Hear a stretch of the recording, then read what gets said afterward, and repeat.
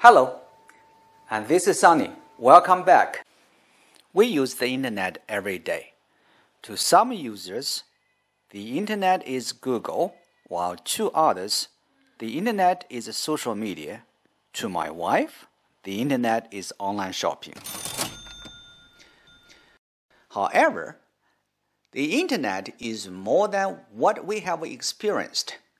The internet is global system of interconnected computing devices. It is the network of networks. The internet not only includes webs, the World Wide Web, but also includes email and messaging services, telephony, file sharing systems, streaming media services, games, and many more. It is beyond what any search engine can reach. For some reason, every time I talk about the internet, one song pops into my head with lyrics like this Wider than your arms can reach, taller than the trees, higher than the stars above deeper than the sea. The song is called Wide, High, Long, Deep.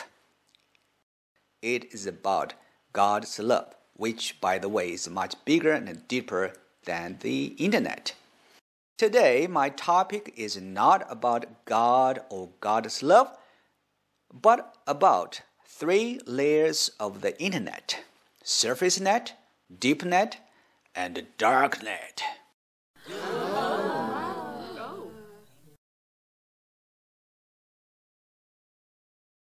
The surface net is the visible part of, of the internet.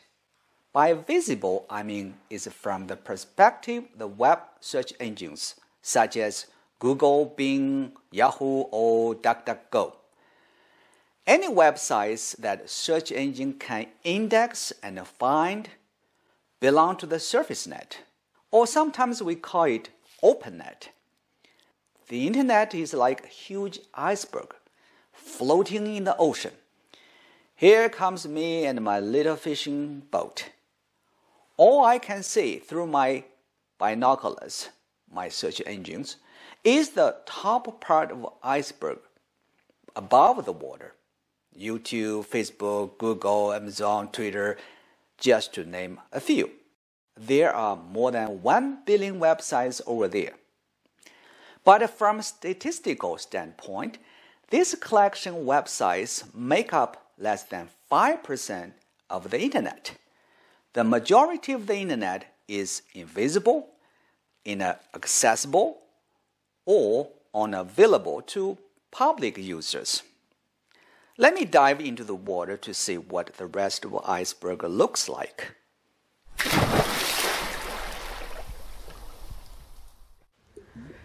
The deep net. The deep net is much bigger than the surface net. It's nearly impossible to discover exactly how many websites and data are active at any given time. In case you are wondering how to access the deep net, chances are you are already using it.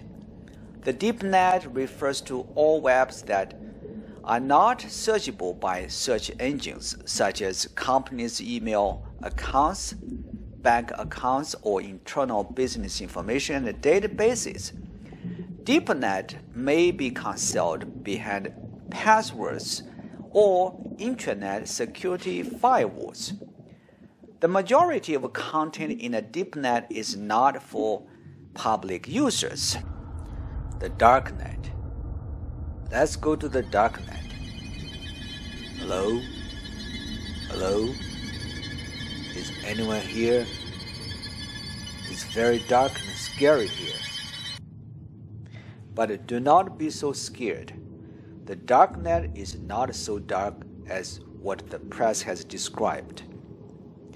The darknet is a collective website just like SurfaceNet, but darknet is not accessible using normal browsers like Firefox, Chrome, or Safari.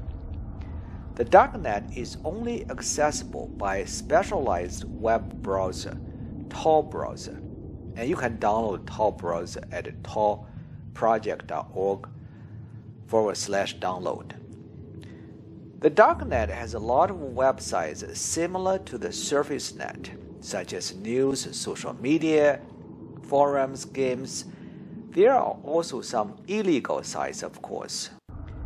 Is it safe to access and browse the darknet?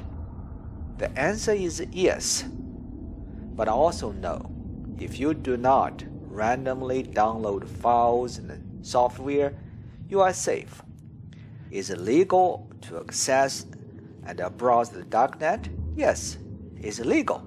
There's nothing wrong to go to the darknet, but it is against the laws if you participate in illegal activities like selling or buying drugs.